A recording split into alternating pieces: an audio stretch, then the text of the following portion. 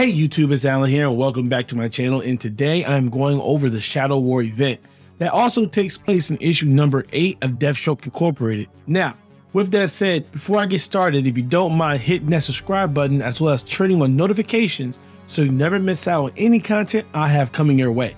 And if you want some additional context on the story, you can check the description box down below as well as the pinned card above to get all caught up on everything you need to know moving into this comic. So with that said, let's dive right into the story. So this issue right here opens up on a really, really cool panel. It opens up on a picture of Angel Breaker standing over a defeated raptor. And the purpose of this panel is to show us just how much power the League of Assassins has over the villain industry and how they are able to take out almost every member of Deathstroke Incorporated, basically showing us just how one-sided this fight really is, because the League of Assassins is wildly powerful and wildly capable. And that's even more evident in the following page because we see how each panel of this double spread shows us how each member of Deathstroke Incorporated is taken down slowly one by one by the League of Assassins, which eventually leads us to San Francisco. Now, the reason why we are here is because Deathstroke in Respawn after the explosion went into hiding. And one of the places they traveled to was to San Francisco because Deathstroke was able to set up this underground bunker beneath the city in case he was ever to run into the Teen Titans again. Because we all know Deathstroke has a long standing history with the Teen Titans. Now, once we get in this bunker, we see just how well equipped he really is. We see all kinds of weapons all over the place. We see a refrigerator that was fully stocked of food. And we see that he has lights, he has cameras, he has electricity, he has everything he needs to operate over an extended period of time. So, with the two safely tucked away, Deathstroke as well as Respawn took advantage of this opportunity to spend time with each other. Because due to the nature of Respawn's conception, Deathstroke pretty much has no idea who he really is.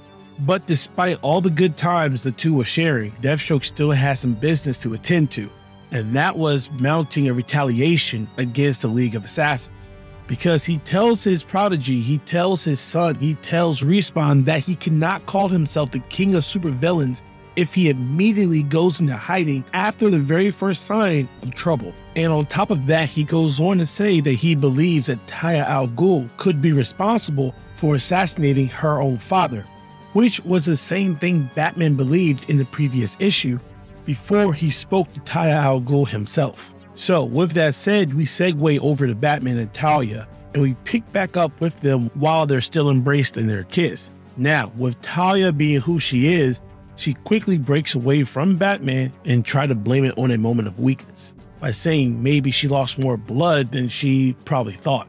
So, with that moment past, Batman goes back to his original reason for coming here, which is to find out what exactly went down. So he asks Talia why the heck did Ra's al Ghul turn himself in to the DEO, in which she responds by saying her father would not share the information with her. But he was able to tell her that he was being rejected by the Lazarus Pit, and because of that, his mind was as clear as it has been in the last few centuries, which led him to want to share his information that he learned over the years with the entire world. Now, this right here immediately threw some red flags up for Batman because Batman responds by saying why would Ra's al Ghul reject the Lazarus Pit? In which Talia interrupts him by saying because of Damian, because Damian was able to show Ra's al Ghul that his legacy can live far beyond himself, which implies that Damian Wayne is the future of the League of Assassins. Now, with that stated, out of nowhere, Angel Breaker walks into the room with Raptor. Now, Raptor is completely beaten as we saw back in the very first page.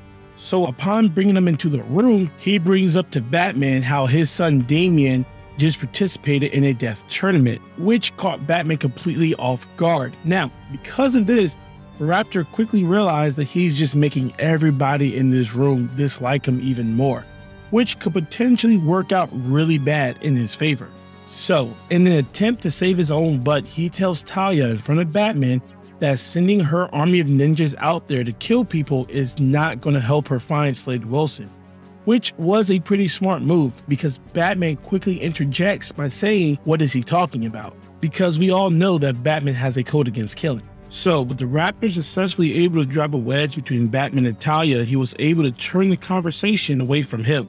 Because Batman proceeds to tell Talia can he be the one responsible for interrogating the Raptor, in which Angel Breaker enters the conversation, and she says that Batman should not be the one responsible for doing this interrogation, because Batman is a man of half measures which means he does not have what it takes to go the extra mile because we all know, like we keep saying, Batman does not kill people.